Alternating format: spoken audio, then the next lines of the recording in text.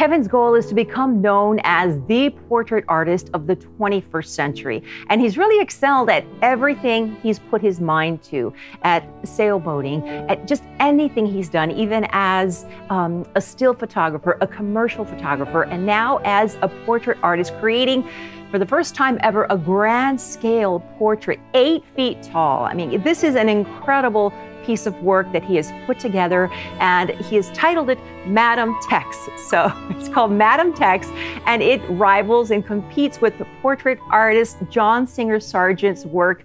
Madame X of the 1800s and early 1900s. So he is so proud of the work, and so am I, because I never imagined that he would create this type of a portrait of me. He said he would, and I said, I figured it might be about this tall. No, that thing is twice as big as me, so it's incredible. I've known Kevin for 15 years when he started as a commercial photographer and did such an incredible work when he was doing that. And over the years, we've really kept in touch um, and he's developed his craft into something really beautiful that I didn't really know how intense and involved it was until I visited his studio recently and just was in awe by all of the portrait art that I saw on his walls. I saw beautiful photographs, pictures, portraits of ballerinas, of children, families, just exquisite pictures, landscapes, things you have never imagined could be captured so beautifully, so intensely, so much detail.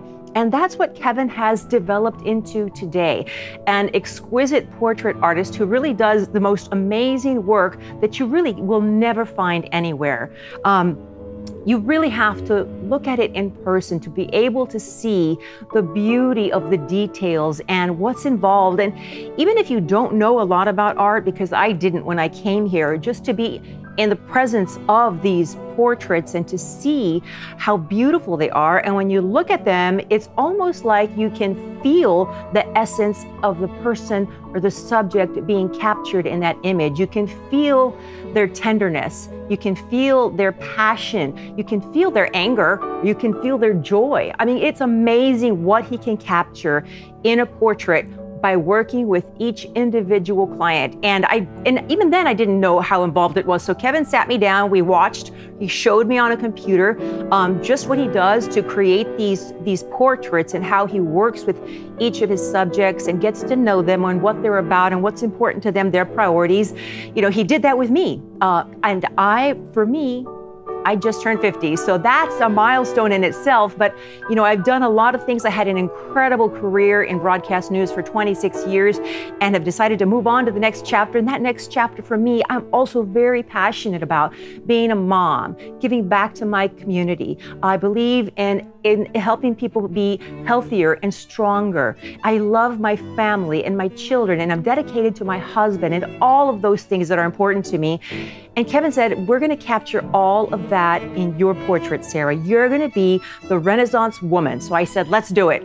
so, you know, he put me uh, behind the camera, or actually in front of the camera. He got behind the camera.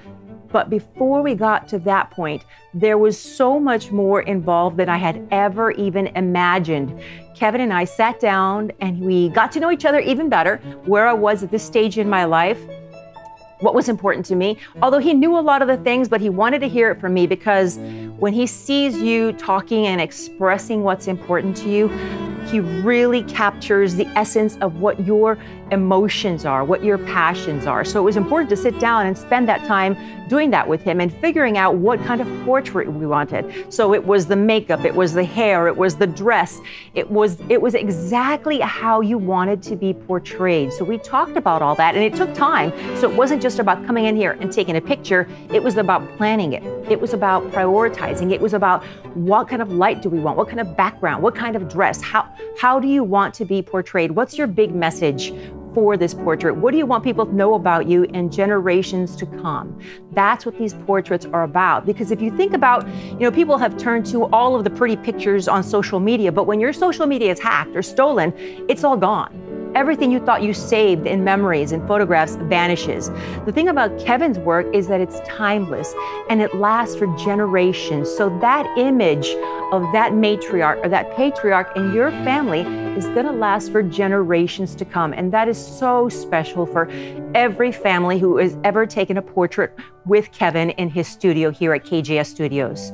So we went through all of that and just realizing how involved it is to to create that very special portrait is incredible. It's not it's something that I really never imagined. And then to see all of the work that goes into actually making it.